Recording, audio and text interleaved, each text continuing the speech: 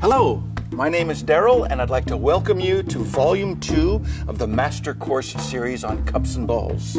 Now, on this volume, I will show you how to effectively combine several of these techniques together into full length routines.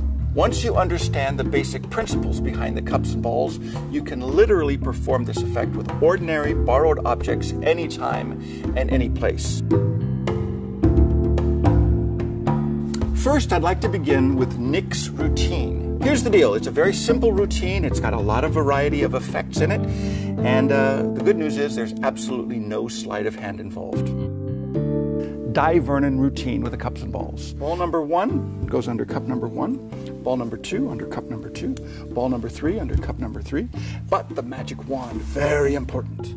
If I tap here, tap there, and then tap there, a very strange thing happens. The balls vanish from the end cups all to the middle, just like that. With that said, let's get started.